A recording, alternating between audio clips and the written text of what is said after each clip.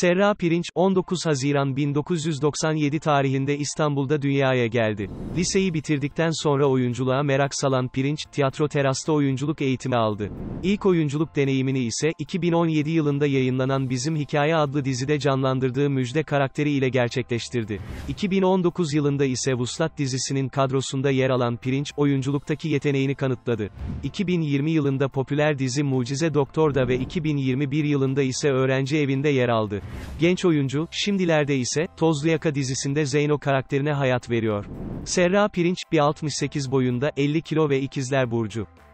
Kanalımıza abone olmayı ve videolarımızı beğenmeyi unutmayın.